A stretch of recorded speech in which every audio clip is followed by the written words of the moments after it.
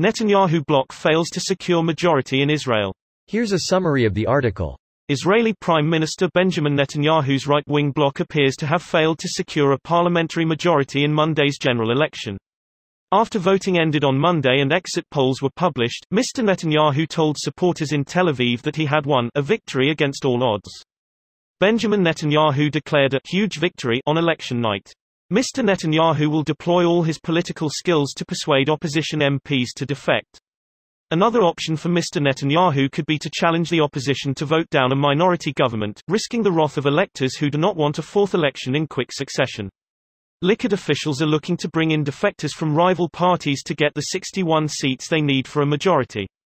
Mr. Netanyahu has strongly denied any wrongdoing, saying he is the victim of a politically motivated witch hunt. This post received a score of 2,327, with an upvote ratio of 96%. Here are the top comments in response to this article. Fails to get majority but it's his party's best showing in the last three elections. His trial starts in two weeks or less. Didn't stop voters. His dirty laundry wasn't aired yet, and once it is, do you think more people will vote for him? I'm used to being disappointed by voters. A democracy ensures a nation gets the leaders it deserves. Categorizing a nation as a democracy is not a binary proposition. Democracy is on a continuum and there are degrees of democracy. Israel is more democratic than say the US with its more republican federal model. I suppose that is up for debate. The index I posted a link to describe them both as flawed democracies, with the US just edging out Israel by a few meager points. It's from last year but this riff by the Arab Party on Netanyahu's desperation to secure a coalition always makes me laugh. Wait I don't get it, did he actually offer all that or is the joke that the Arabs would never make a deal with this guy? It's a joke of how desperate he was to form a coalition, especially one that would shield him from his criminal charges. Wait so is there going to be a fourth election or something? It's my understanding that now the second place party now gets a chance to form a coalition government. If that fails, then there will be a fourth. Netanyahu will get a chance to form a coalition first, he'll try to convince three ministers to go rogue and join his coalition, if that fails then blue and white might get to shoot their shot, I don't fancy their chances to be honest.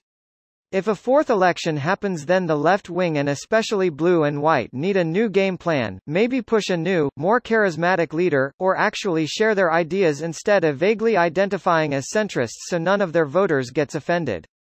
It's been a shitshow so far. Blue and white isn't left wing by any standard. They are right wing too. Center right. Netanyahu should be in prison for corruption and war crimes. But the economy is good so does that really matter? Israeli voters. Also American voters. Evangelical voters, specifically. They need Israel to validate their insane beliefs, specifically the rapture. Evangelicals are fucking insane. Opening square bracket. And they call Muslims lunatics. This Knesset cinematic universe is getting a bit repetitive. Need a big shake-up in the next sequel. The Brexit series is confirmed for the last season and the number of spin-offs is up in the air, so there is hope yet we can confirm at least one spin-off. The early event in this season with the devolution of the Northern Irish Parliament has mostly gone unnoticed, but it is a guarantee of a spin-off. This video was automatically created by Reddit to speech.